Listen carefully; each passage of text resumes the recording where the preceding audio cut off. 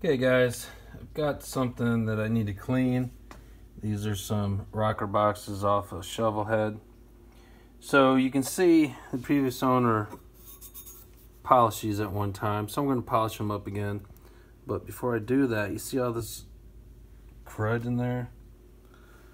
All in there.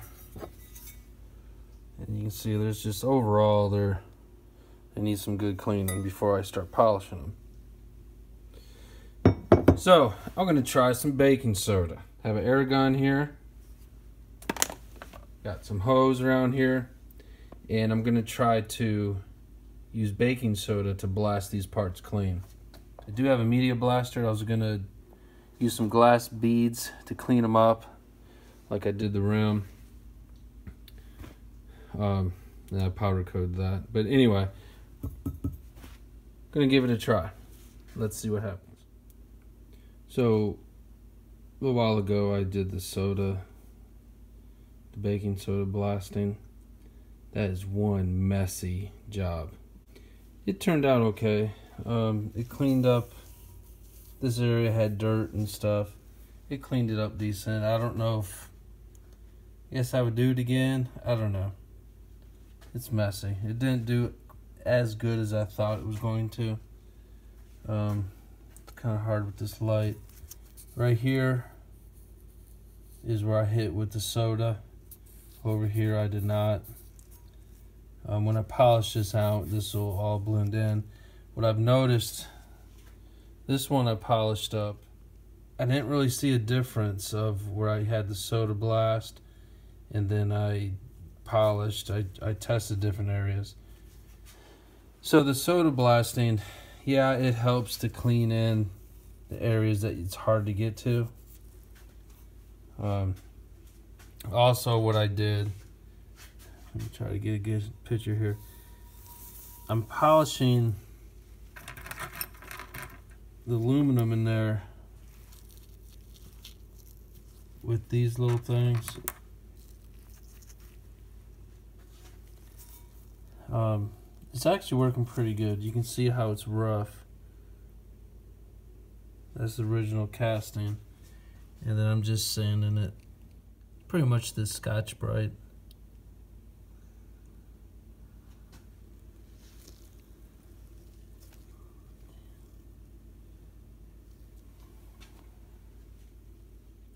So this is the before. This is the after. It's taking a long time. Oh, I'm also using this stuff. White diamond. And I have some polishing things for my Dremel.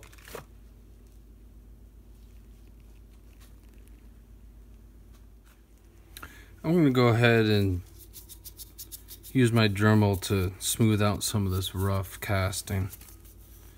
I'm to go polish these. Um, so let me just show you what I was doing. Um, I bought these off Amazon. They actually work pretty good. The inside, I'm not to do like a mirror finish. But I don't want it to be rough like this because it's hard to clean. And you can see dirt gets caught in there. So I'm to use these. Um, this is the most rough. And then this is the finest. Um, I'll put a link on in the description. Um, but it works pretty good. I showed you the one earlier. We'll go ahead and change these out.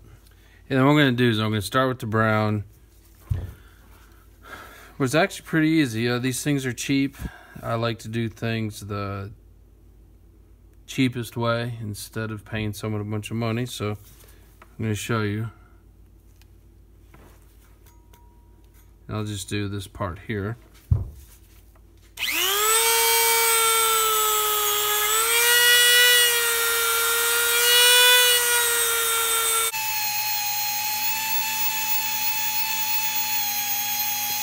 it takes a lot of time, but I have more time than I do money.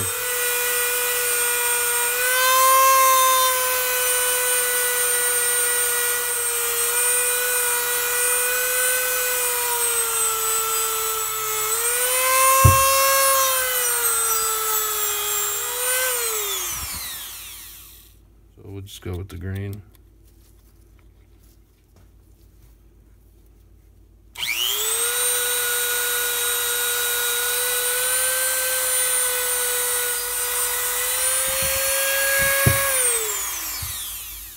And we'll just jump to the black here.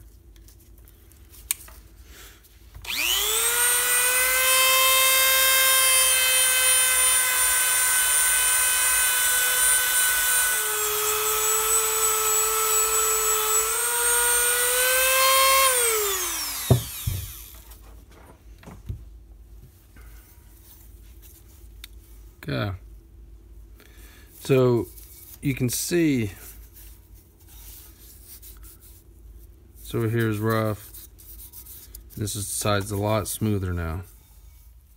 So it's not perfect. It's not going to be, you know, a mirror finish. And then what I've been using, white lightning, actually works pretty good. I found what works pretty good. Get some on here, put it on a little thick not thick, but you know, enough. And I take the Dremel. I use the Dremel to polish it out.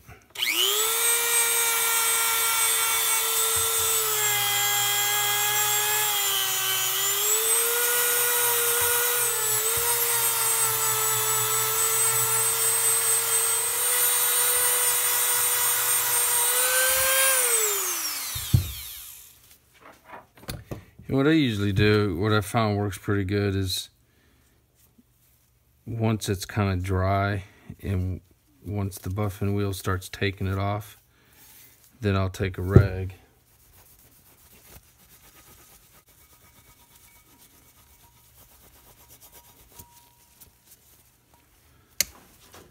So right here you can see where it's polished and right here I did not. So you can see it's a good good difference using the Dremel with the polish. And right here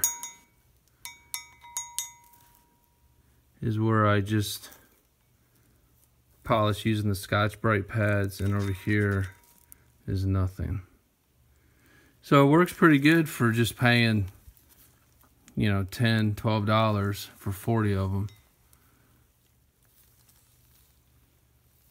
Here, let me show you the one that I finished. Okay, here's this one. I'll probably go back over it.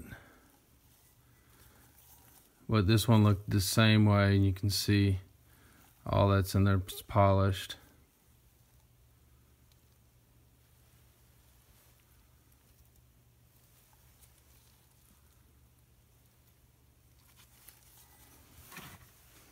So that's pretty much it. Um, I'm not going to go through the whole process to show because it's the exact same thing as I did here. It's just you do it all through the whole thing. Um, and I'm also going to do this. Did a little bit down here already. This was really rough cast, so I sanded it out. I'm going to polish the same thing on this. Like I said, I'm not a professional. Just trying to save a few bucks. I'm doing it this way is a lot cheaper than having someone else do it. Um, go ahead and subscribe if you want. Um, I'll have more videos coming up through here and I'll show you the process of the bike.